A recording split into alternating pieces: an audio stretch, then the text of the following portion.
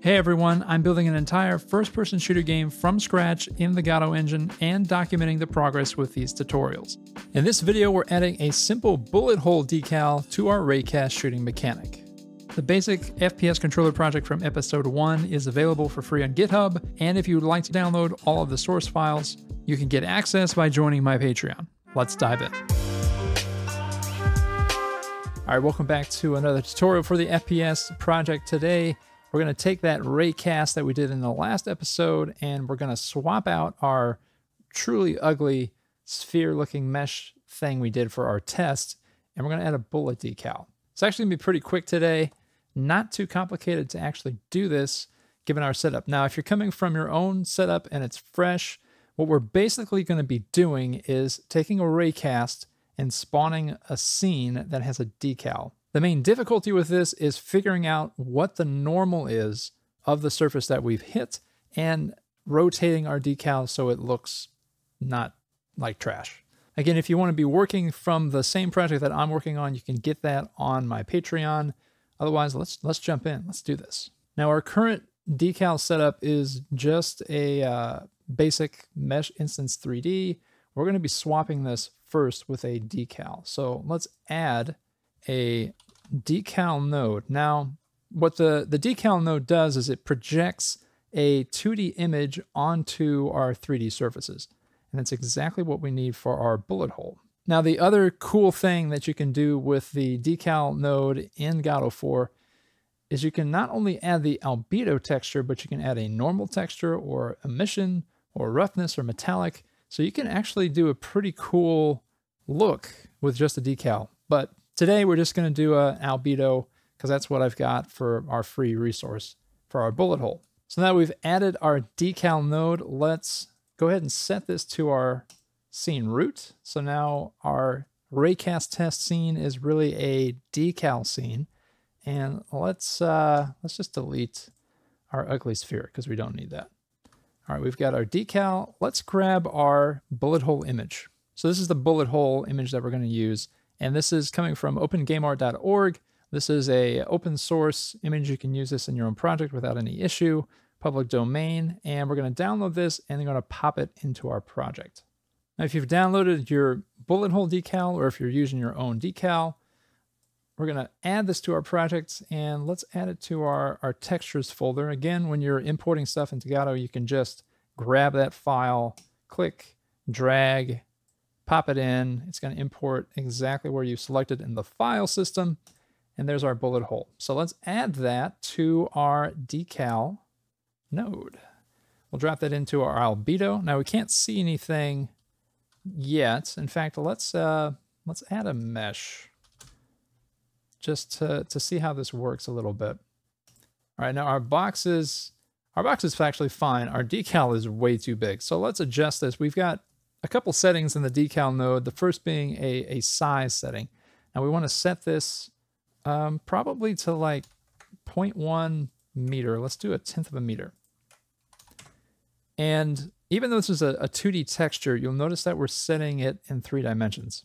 Whoop, we gotta, we gotta adjust this. So I'm moving the parent, so it's moving the child. We can actually um, unattach this if we do transform top level on our mesh instance 3D node, and that's gonna keep it independent of our, our parent node. Little trick there for you.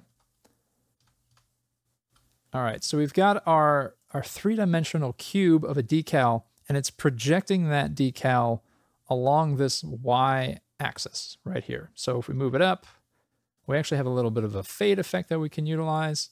Now if I turn this, you're gonna notice, whoop, there we go.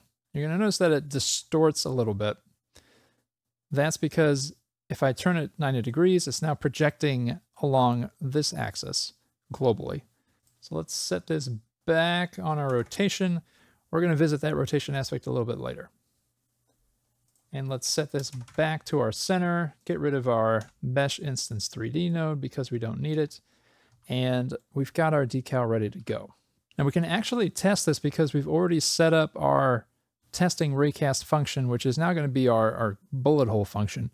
And we're spawning that instance whenever we shoot a surface. So let's see what the, uh, the decal does now that we put that in there.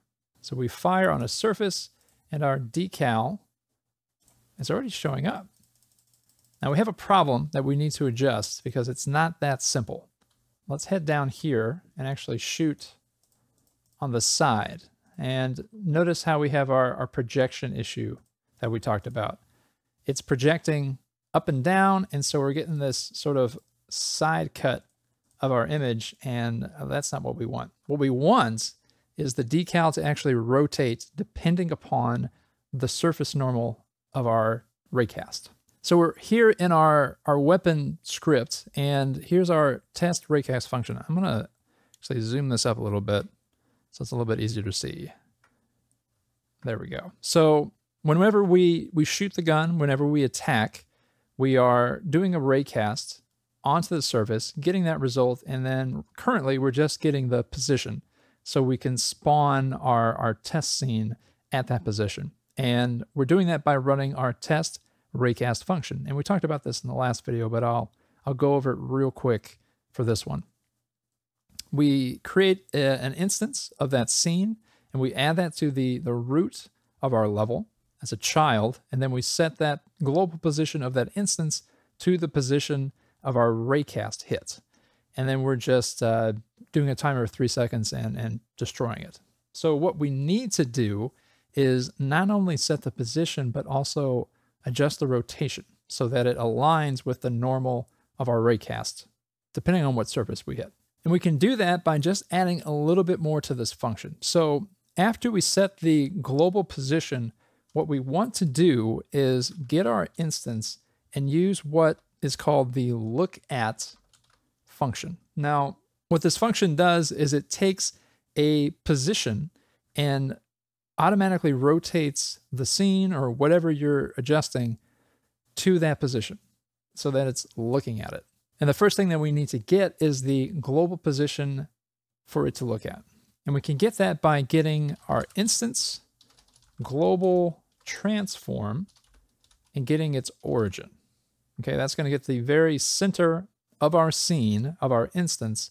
So that gives us our position. And then the second parameter for this is we need to add a vector 3 up. This lets the script know what our orientation is for our scene. Now this alone is not going to do it. We also need to use the normal of the surface that we hit. So we need to actually get that from our result. So what we're going to do is go back to our test raycast function, which, in fact, let's go ahead and rename this to bullet hole, and we'll adjust where we call it to bullet hole. We need to add another parameter to this, and it's going to be normal, and that's going to be a vector 3. Now, when we call the bullet hole function, we're already asking to get the position from our result. We need to do the same thing, only we're going to ask for the normal of our result. Now, what this is going to do, again, is get the normal, the direction of the surface, wherever we hit with our raycast, which is exactly what we want. Now that we are passing that normal value, we can take that and add it to the position that we want to look at. Let me uh, let me draw this out so it's a little bit easier to understand. Um, let's grab let's grab some paint. So imagine you have a straight up and down wall right here, and we're going to fire our gun in this direction, and it's going to hit right at that point. That is the global position the point of impact that we're already using. And now we're also going to get the normal, that is the direction that that surface is pointing to in our results. Now that normal is pointing this way, and that result is going to be a vector 3. Usually if it's going left or right, might be 1, 0, 0. If it's pointing up, it's going to be 0, 1, 0. And we're going to add that normal to that global position right there. And what that's going to do is give you a little point just a little bit in front, depending on where that surface is pointing. So when we spawn and rotate that decal right there, it's going to point towards that little green dot. So we've set in our look at function to look at the global transform origin plus that normal. Let's go ahead and run that same test. All right. Up is working, but up was already working. Let's test the side. Well, we're still having the same issue, but if you go back and you'll notice our image does look a little bit different. Now we have to do one more check when we are doing our rotation orientation. Now, because of the way that the decal is set up, it's it's more of an up and down than it is to a left and right. Remember that it's projecting at uh, default up and down. So let's see what happens when we take our instance and we rotate it locally by 90 degrees on the X axis. And you can do that by rotate object local. The first parameter is what axis you want to rotate on, and we're going to do it on the X axis. And then you're going to tell the amount, the degrees. So let's uh, let's add that. It's unhappy with me. Oh, because I, I misspelled instance. There we go. Let's test it now. There we go. So now that we've adjusted for the, the decal's weird orientation, we've got a, a working sideways bullet decal, but it's a little funky if we're doing our up and down. So what we can do, instead of rotating every single instance, we can check if the normal of the impact point equals up or down. And if it equals up or down, we don't want to rotate it. There's no need to do that. So we're going to do an if normal does not equal vector 3, and we'll get our up vector. You can do that with, um, actually you can do a shorthand for that. Just do up. And normal does not equal vector 3 down meaning if it's not straight up or straight down, then we'll rotate. All right, now let's check. All right, check our up. That's working like it should. Check our side. That's working like it should. And there's a couple of other spots, although it's mainly a left, right, down setup. So let's actually, let's, let's add a sphere. Let's, let's switch this over here. Select this box and let's switch it to a sphere. Now a sphere is going to have a ton of different surface normals. It's going to go in every single direction. So it'll be a good test for our, our new script. And we'll add a tri-mesh static body. So we have our collision. You can see the collision with our, our blue wireframe. And let's, let's test that out. So what should happen is as we shoot this sphere, that decal is going to go in every single surface normal that we have without an issue. And that's looking pretty good. So we're going to add one more uh, effect to this because it's it's currently just getting rid of it after three seconds and it's a little it's kind of ugly. So let's have it uh, let's have it fade. So let's go back to our script and let's go down here. Currently we are, are waiting three seconds and then we're just, we're killing it. We're getting rid of it.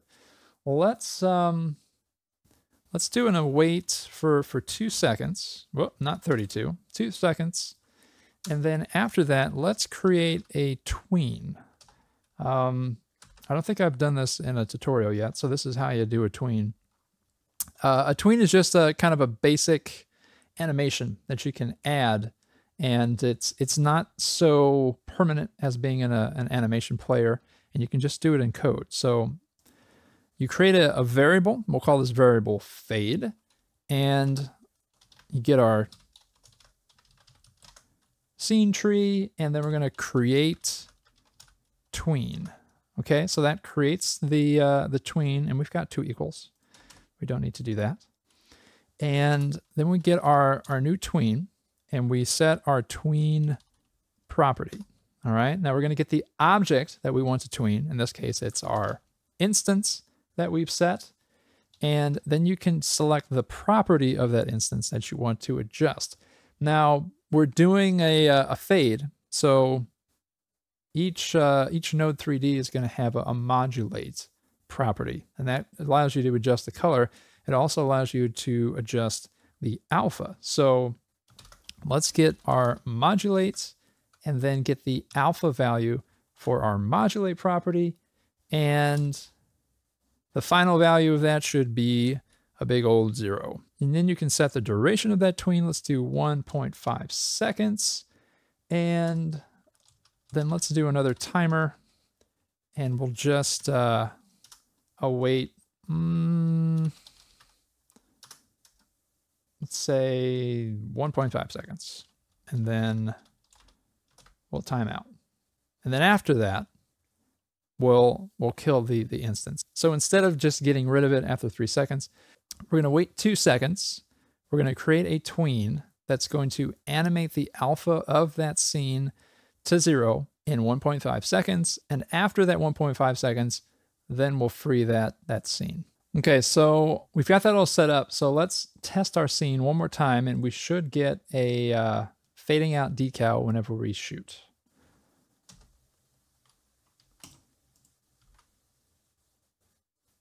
There we go. Now, obviously, you can adjust that time. You could set it up so that you only have so many decals that can spawn, and when you run over that, you get rid of the oldest one. But then it gives you a, a basic decal, something to build off of that will orient depending on the surface that you shoot. Alright guys, if this tutorial was helpful, consider a like and subscribe to the channel as we're going to be covering a lot more. Thanks to all of my patrons who keep this series going. You too can get access to the project source files by joining my Patreon. You can download everything there and you'll also get early access to my videos and sneak peeks at future tutorials. Thanks for watching, and as always, keep creating.